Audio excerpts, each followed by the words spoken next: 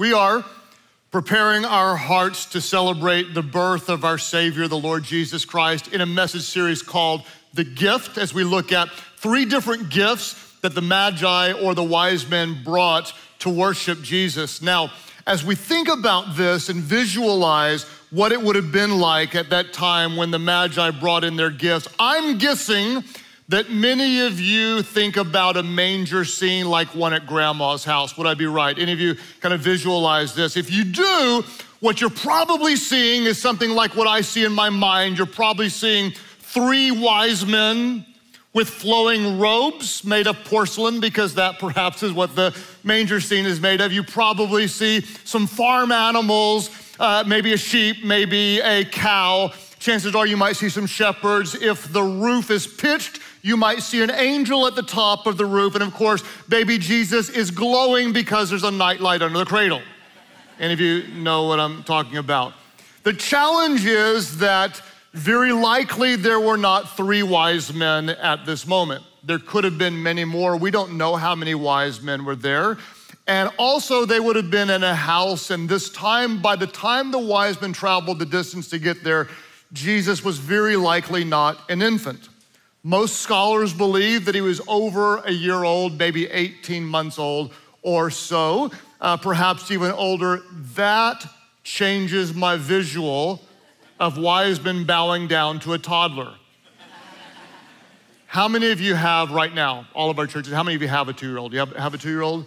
How many of you, you have ever had one? You ever had one? How many of you have been around one? Okay. I used to judge parents of two year olds before I had children. You know what I'm talking about?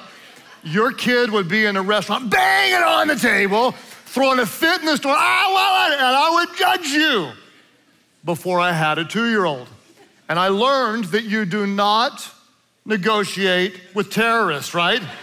you have a two year old, they're out of control. You're like, I'll give you anything, kid. You become the worst parent and you're happy. Here's my iPhone, take it play Baby Shark for the 90 millionth time. I'll give you candy. You can have a pony. I'll give you a race car, whatever it is.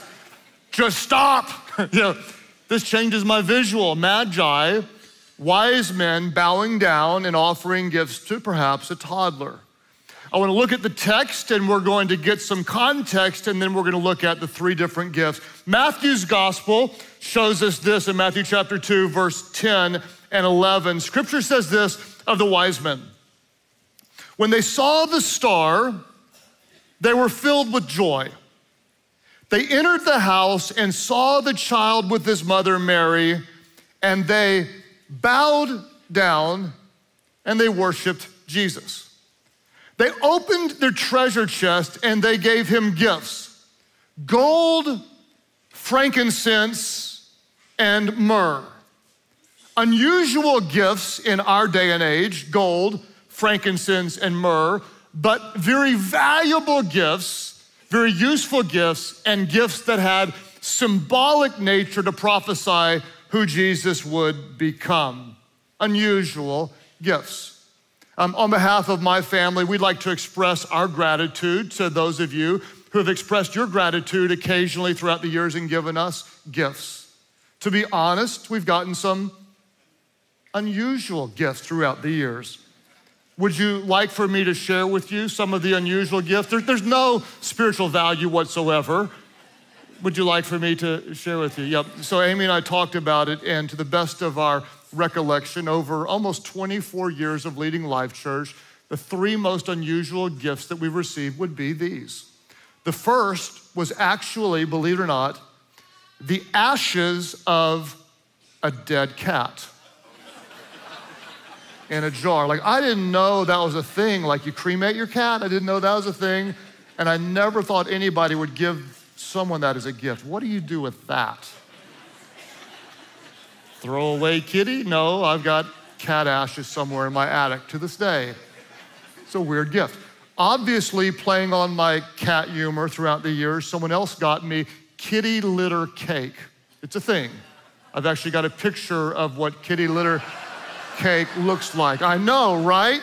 I mean, there might be like some kind of Bible verse against giving that to your pastor. Those, those are Tootsie Rolls, in case you're wondering, and you can eat that. That's, the second most unusual gift we've received throughout the years. The most unusual, though, for those of you that are maybe celebrating your sobriety, congratulations. I received a, a bong, you know, people use drugs with, but it was framed, a framed glassed in bong because someone else was sober, so they gave me their drug paraphernalia. You know, why? I don't know, being a pastor is difficult, you know, in case of emergency, break glass. I'm just, I'm just saying. The Magi gave Jesus gold, frankincense, and myrrh. Gold was valuable of, of monetary nature as it has been through history, but gold, we'll talk about next week, symbolizes the kingship of Jesus. Jesus is king. Frankincense, we talked about last week, actually symbolizes Jesus as our great high priest who would offer his life, and yet he is one who sympathizes with us, he understands. Today, we're gonna talk about the gift of myrrh, which many people probably don't know anything about myrrh. Myrrh is a a valuable gum like substance It's actually used 17 different times in the Bible. Um, occasionally, myrrh would have been used as an anesthetic. For example, uh, if you know the story on Jesus on the cross, they offered him wine mixed with myrrh to dull the pain, but Jesus rejected that because he wanted to bear the full force and weight of our sins. More commonly, though, myrrh was known as an ingredient used um, to embalm the dead. In other words, myrrh would have been used when Jesus gave his life to help prepare his body for burial. So, myrrh, scholars agree, and I full heartedly believe, represents Jesus as the suffering servant or the Lamb of God who was born to die for the forgiveness of our sins. What I want to do in the remainder of our time together is look at an Old Testament prophetic passage from Isaiah the prophet, Isaiah chapter 53, and show you how the myrrh represents Jesus, the suffering servant who was born to suffer on our behalf for the forgiveness of our sins. Now, I'm curious at um, all of our different churches, how many of you are football fans? Raise your hands. Okay. Notice how football fans always make a noise when they raise their hand. Woo! Okay, that's football fans. Uh, imagine, if you will, if I had the power to predict the two teams that would be in the next Super Bowl. That would be impressive, perhaps lucky. Imagine, though, if I could predict the exact and final score, who would win, and down to the point which team would win. That would be mind blowing. And if you're a gambler, you would probably want to befriend me. Imagine this though. Let's just say that the world is still here and football is still popular 700 years from now. If I could predict the two opposing teams in the Super Bowl and the exact score of that game 700 years from now, that would make me a prophet like no other. Isaiah essentially did something very, very similar. He prophesied 700 years before the birth of Christ, a very detailed account of what the suffering servant, Jesus, would endure on our behalf. We're gonna look at that in a moment. First, I'm gonna show you our problem because we have a very real problem.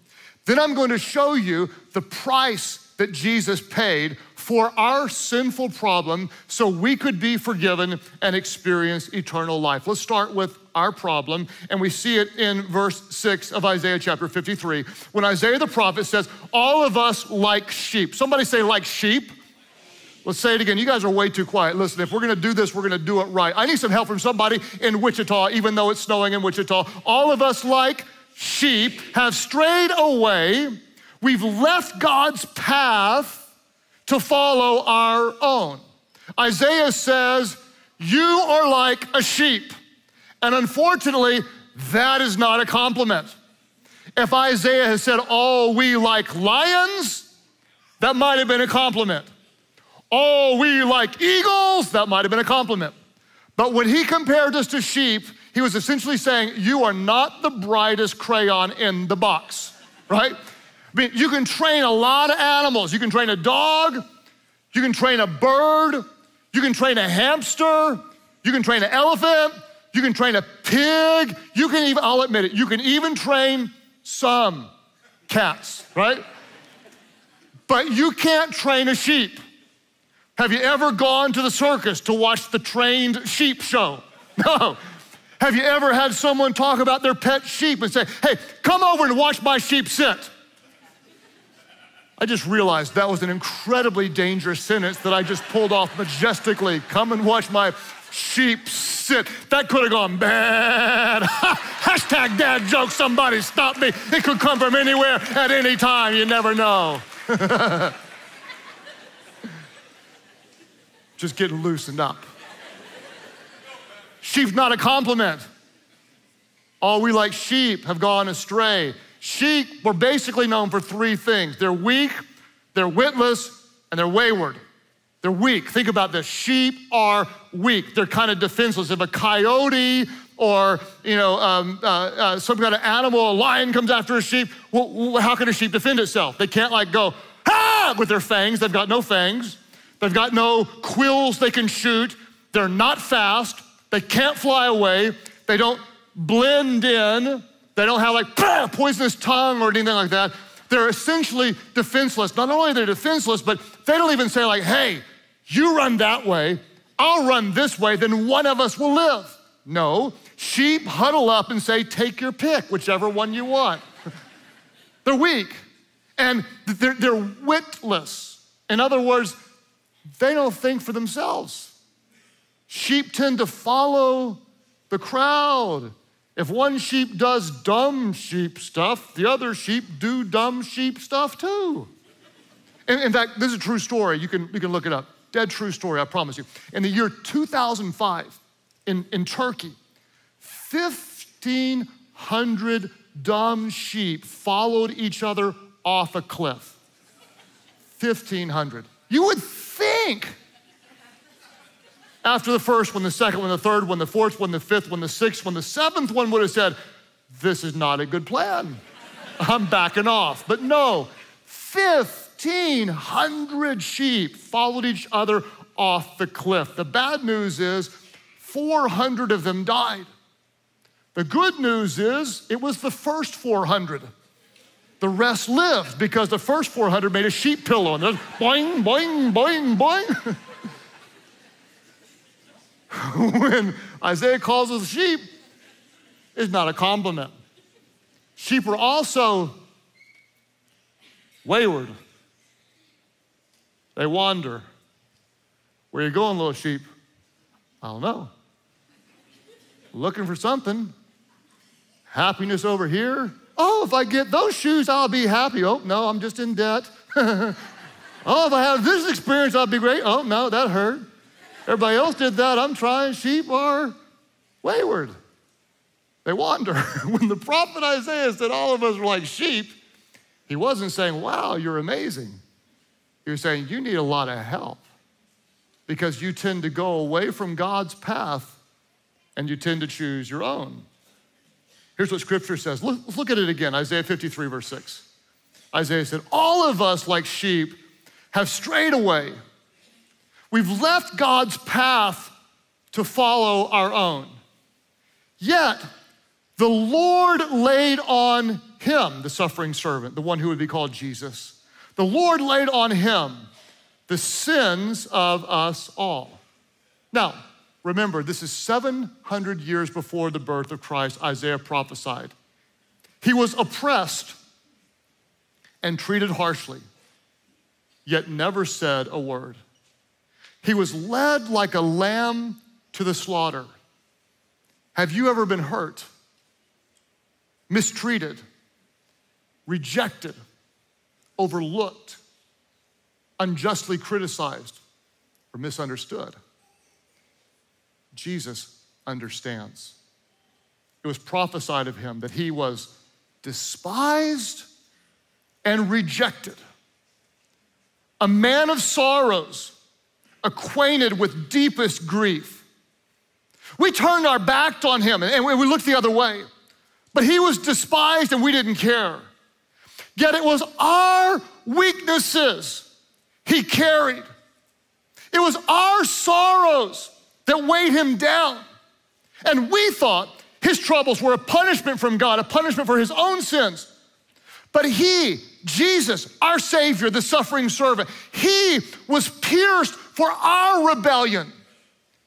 He was crushed for our sins. He was beaten so we could be whole. He was whipped so we could be healed. That's what Jesus would do for us. It seems like when people look at the baby born in a manger, sometimes people seem to say, that was a holy event that happened a long time ago. But what does that mean for me today? Jesus died on the cross, he rose again. What does that really mean? Why should I follow Jesus? Why should I devote my life to him? When you understand the magnitude of his suffering and the depths of his love, you won't casually say, I'm a Christian. Yeah, I'll go to church when I have time. Yeah, we might as well pray over the food. No, no, no. When, when you understand what he did for us, the declaration of divine love, our only reasonable response is to wholly, completely follow him. I'll try to describe it, but I cannot adequately do it. Start with just the Garden of Gethsemane. This was the place that Jesus wrestled with God when he got a glimpse of the suffering that was to come. And he said to his disciples, Hey, you guys watch and pray, but they just fell asleep. And all alone, he cries out to God, knowing what is to come, and says, God, would you remove this cup, this cup of suffering from me? And then he fell to the ground, and blood dripped from his brow. The medical term is the word hematidrosis. It's something you experience under extreme trauma when your capillaries burst and, and, and blood is mingled with your sweat. And he falls to the ground and he says, My soul is overwhelmed with sorrow to the point of death. That's how bad it was. God, can we do this another way? And then he declares faithfully, Yet, Father, not my will, but your will be done. Then one of his own, Judas, betrays him with a kiss. He's arrested, falsely accused, unfairly tried, and sentenced to death by crucifixion. He would be stripped naked, publicly exposed, feeling humiliated and ashamed. They would put the crown of thorns on his head, one and a half to two inch thorns going into his brow, and the beating would start. Again and again and again, they'd whip him across the back. Wearing a signet ring, they would beat him in the face. They'd take the clubs and pound it across his head, burying the thorns deeper into his brow. Isaiah implies that they would pull out his beard and that he was so disfigured that he wasn't even recognizable as a human being. Then, weak, suffering, and alone, they'd give him the crossbar weighing about 100 pounds, force him to carry it 650 yards on a path known as the Way of Suffering to Golgotha to be crucified on the cross. They would take the nails, seven inches or so in length, and drill them, drive them into his wrists and through his feet. Hang him up on the cross while his back so bloody his internal organs are likely exposed, sweeping across the rough beam of the cross. The only way that he could breathe is to pull himself up with a wrist full of nails, push himself up on his feet, trying to catch a breath. It wouldn't be long before his shoulders would be dislocated and his legs would give out. And he would slowly, slowly, slowly be unable to catch a breath, hanging under the heat of the day, shamefully, nakedly exposed as the creation mocks the Son of God, the Creator. And that was only the beginning. The most painful part was when the innocent one, who had never sinned, bore the sins of the world, became all everything vile and filthy and unholy and demonic. He became that. And God, in his righteousness and holiness, who could not look upon sin, pulls away the intimate fellowship Jesus had always known with his Father is broken. And in probably the most agonizing moment of his life, Jesus cries out, My God, my God, why have you pulled away? Why aren't you here with me? Why have you forsaken me? They offered him the wine mixed with myrrh, the very thing they would use to embalm him at his death. And he says, No, I don't want something to numb the pain. I will finish what my Father sent me to do. And he declared it in faith. Tetelestai. It is finished. Into your hands I commit my spirit. And he gave his life for the forgiveness of our sins. And the prophet Isaiah, 700 years before this ever took place, prophetically declared what this child, the innocent one, born of a virgin, who never sinned, would endure on behalf of our sinfulness.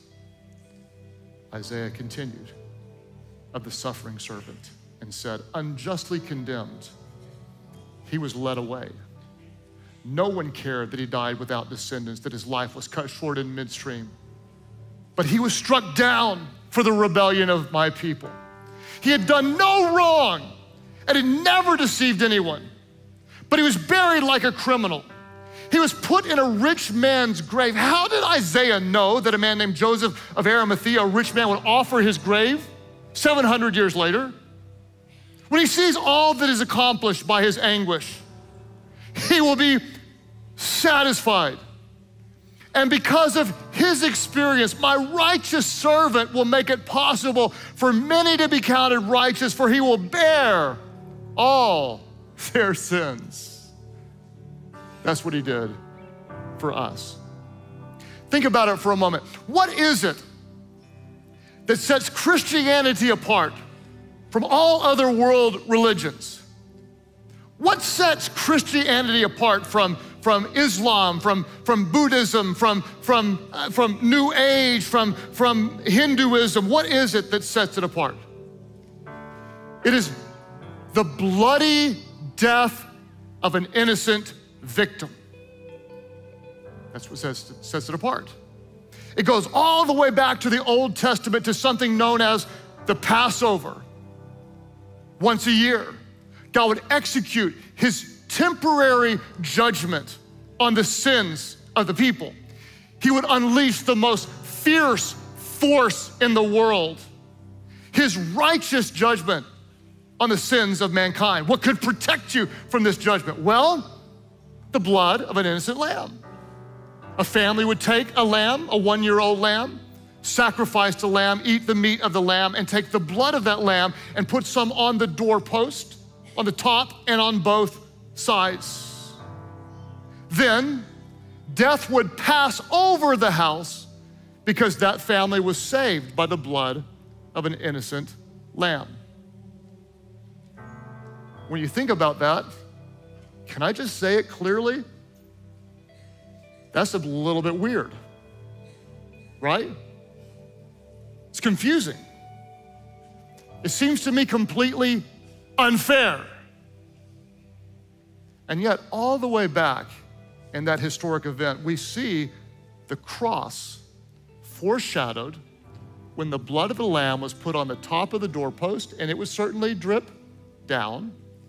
And on both sides, you see a picture of the instrument of torture on which the Lamb of God would shed his blood for the forgiveness of our sins. What separates Christianity from all other world religions is that God would become flesh and he would be pierced for our rebellion, crushed for our sins, beaten so we could be made whole. And by the stripes he bore upon his back, we would be healed. So when you visualize it, the wise men who offer him myrrh, a substance used to embalm the dead, you understand God was foreshadowing what was to come. The Lamb of God would be slain for the sins of the world. Jesus understood this and he prophesied it of himself.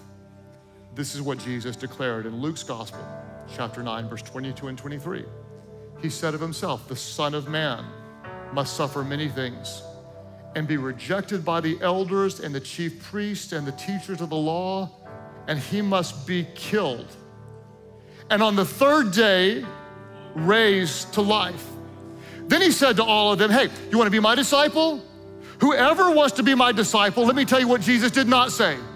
He didn't say you pray some prayer and then you're blessed and prosperous every day for the rest of your life. He didn't say that. He didn't say you pray a little prayer of salvation, then you do whatever you want, and Jacuzzi Jesus is gonna set your sins free. He did not say that. What he, what he said was, he said, You wanna be my disciple? Then you deny yourself. It's not about you. Then he said, You take up your cross. In other words, you die to yourself. And then he said, Then you follow me. It's not a hobby, it's not an add on, it's not something that helps us feel good while we celebrate Santa and go to grandma's house. It's God becoming flesh, born of a virgin, not inheriting the sin nature of an earthly father, but the heavenly nature of a divine father. He never sinned. And when you understand that, it overwhelms and overtakes your life. What did he do? He endured this for you. For your lies and mine. For your lustfulness and for mine.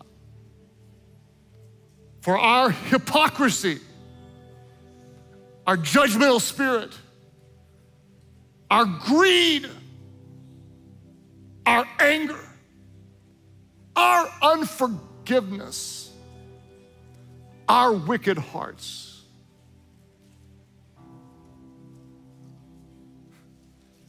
And God sent Magi to give him gold, prophetically declaring he would be King of Kings and Lord of Lords frankincense. He is our great high priest. The veil is ripped. He gave his life